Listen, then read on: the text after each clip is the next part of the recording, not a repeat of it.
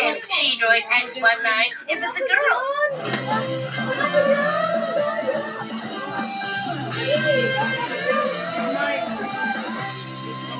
a girl.